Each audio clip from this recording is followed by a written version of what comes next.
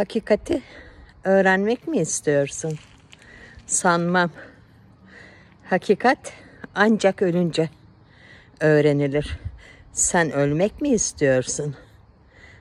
Hakikate yakın güzelliği yaşamak istiyorsan egoyu minimize et.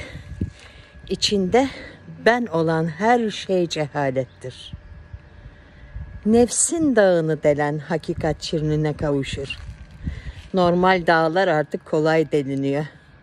Aleti getiriyorsun, buradan giriyor, öbür taraftan çıkıyor.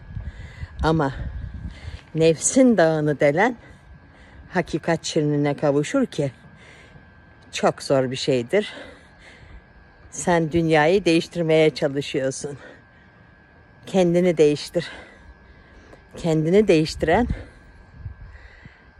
dünyayı anlamış demektir. Bütün insanlığı anlamış demektir.